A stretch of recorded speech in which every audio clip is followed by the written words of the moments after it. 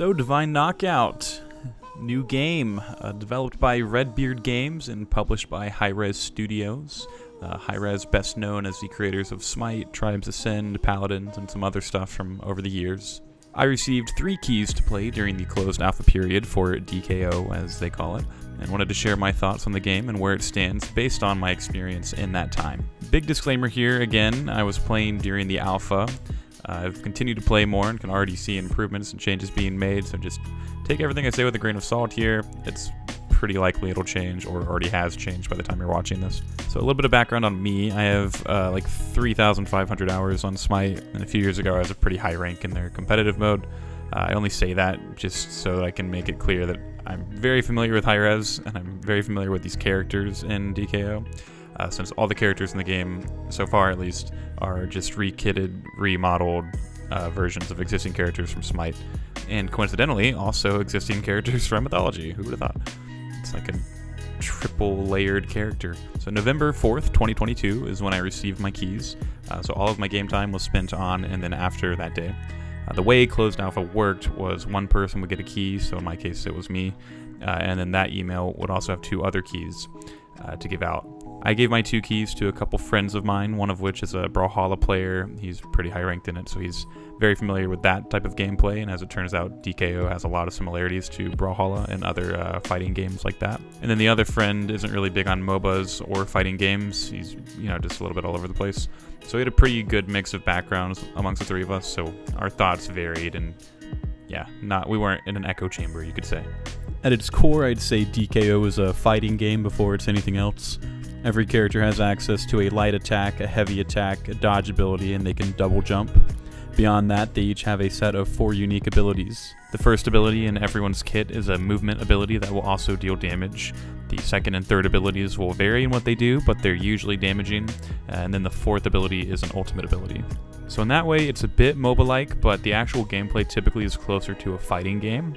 Most of the time, you're trying to time your dodge correctly so you can get a good combo off on the enemy. Time windows for most interactions in the game are pretty small, which means a lot, but for me, it means I'm pretty bad. My friend that plays Brawlhalla, however, is pretty nasty in all the right ways. Alright, so the good. It's a great party game. The new player experience is really nice, and there are a lot of game modes that each actually affect gameplay in meaningful ways. So point one, the game is very fun to play with friends. When it was the three of us queuing together, it was always a blast and very much scratched that new game itch. I think for me, the sensation is best compared to when Overwatch first came out and nobody really knew what the hell they were doing, but it was fun to mess around and experiment in a very casual atmosphere. We actually ended up playing a little drinking game one of the nights that we were uh, on DKO, and that was a blast. So if you're into getting drunk, there's a lot of potential for that here as well.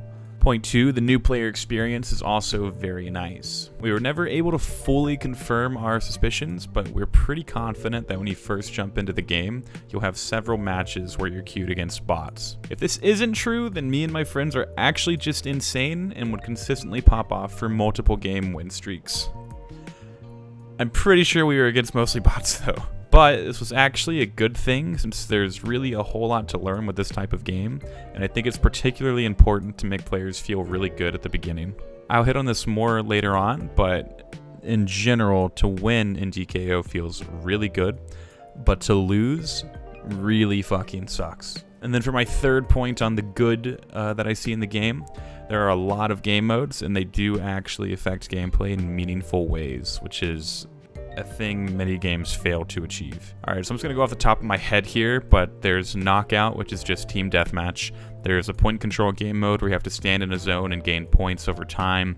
There's a mode called Oddball, where one person carries a crown that takes points for their team every second, but if the enemy hits them with anything, the crown drops and somebody else can pick it up. Uh, there's a mode called Coin Blitz, which has very much become a meme with me and my friends for so many reasons. It is simultaneously the best and absolute worst game mode in any game ever created. Regardless, my point stands that there are a bunch of game modes and they do actually make a difference. Like for Oddball, there's a real chance that you'll go the entire game without hitting a single other player, but it's still fun because you're essentially playing tag, just you're super fast and you also happen to literally be a god. Obviously, standard knockout wins the game mode vote most of the time, but that's fine too because even that is fun. I would hope the base game mode is fun, and thankfully it is here, so well done there, Redbeard. Also, last little bonus good point here the art is very pleasing in this game. All the characters are super cute, and the maps are pretty, so yeah, kudos to the art team. Okay, so now for the bad, or at least not super great points I have, which again I'll note, I don't believe I'm very good at the game, so that's where I'm coming from with all this. I spoke with some of the other players in the Discord for the game, and there were some mixed opinions on the things I'm about to say, uh, so take that with even more salt. You know, I could just suck, so that's a possibility. So point one, uh, the character design seems pretty flawed to me across the board. Uh, point two, there needs to be significantly more content. Uh, and then point three, which is maybe the most damning, at least to me, when you're losing, it feels really bad. And I don't just mean like, you know, it's a close game, but you don't come out on top. I mean, like, the stomps are just miserable. So, uh, on the topic of designing the characters, I think just the overall approach to how they've designed characters in this game is a little strange. Uh, so all characters have different abilities, but the range of usefulness for these abilities is a very broad spectrum. Uh, some abilities just straight up suck, uh, and some are wildly overpowered and game breaking, uh, and not in a way that I think is a balance issue, just like in a needing to be reworked kind of approach. It's similar to the problem Overwatch faced for a long time, where if an ability doesn't have a hard crowd control effect, it's generally going to underperform compared to other ones. So for example, Sol mostly only has damaging abilities that don't crowd control. In addition to that, they have super long telegraphed windups before they fire, making it very easy to avoid them most of the time. Compare that to King Arthur, Satan himself, who has a movement speed buff for his allies, a slow to enemies in a wide range, and a stun, all while also being tanky as hell. To put it plainly, I think stuns are horrible for this game and just should not be in the game at all. The trend is very simply that characters with crowd control are better than characters without it. The argument against this is that if you time your abilities correctly, you should be able to dodge most of that CC. But in reality, most of the time, if you're against an enemy team that has three characters, each with two or more CC abilities, you get ass blasted and have no fun at all because you're constantly knocked up or stunned or just generally getting dicked on for extended periods of time.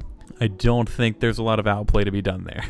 I'm not sure if there's really going to be a great solution to the whole CC thing outside of the designers using it very rarely and hopefully removing it from some of the kits that already have it. As with all games, getting CC'd feels awful and DKO is far from the exception here. The game needs a hell of a lot more content to really have staying power. In an hour, you'll likely have played every map the game currently has. The maps are good and generally have a theme that sets them apart, but there just aren't enough of them. This is a pretty easy fix though, and I'm sure Redbeard Games already has a good live ops plan to handle it.